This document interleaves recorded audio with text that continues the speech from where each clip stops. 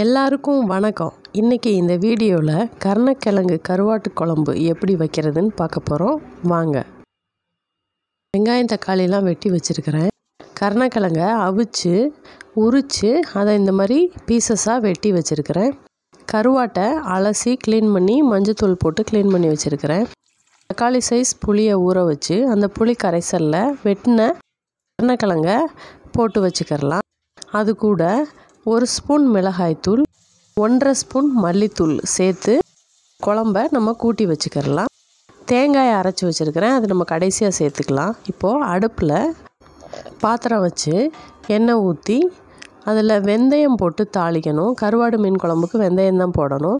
வெந்தயம் வெள்ளைப்பூண்டு வேப்பிலை பச்சை மிளகாய் சின்ன வெங்காயம் ஒரு ஆறு ஏழு வெங்காயம் இது எல்லாம் போட்டு வதக்கி அது கூட ரெண்டு தக்காளி சேர்த்து அதையும் நல்லா வதக்கிக்கிறணும்.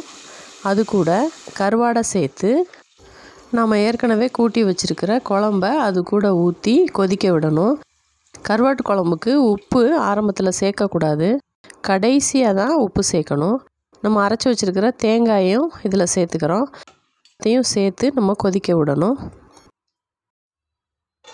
சாப்பாட்டில் உப்பு இருக்கிறதுனால உப்பு இப்போ சேர்க்கக்கூடாது. கடைசியாக குடித்து பார்த்துட்டு எவ்வளோ பத்தலையோ அந்தளவுக்கு சேர்த்தா போதும். சில சமயங்களில் உப்பு தேவையே படாது.